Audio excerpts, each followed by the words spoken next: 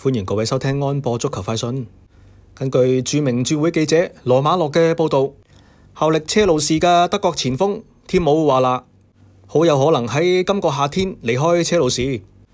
佢同马体会嘅前锋莫拉达一样，都系意甲球会祖云达斯嘅引援目标之一。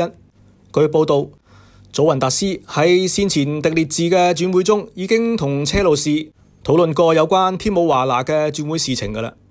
罗马诺仲报道啊，车路士曾经打算将天姆华纳租借俾阿比莱比锡，以求引进对方嘅首将梅基尼嘅。德国前锋天姆华纳现年二十六岁，佢上赛季代表车路士喺各项赛事出战三十七场，其中二十四场正选，贡献咗十一个入球、六个助攻嘅。我系阿斌，多谢各位收听。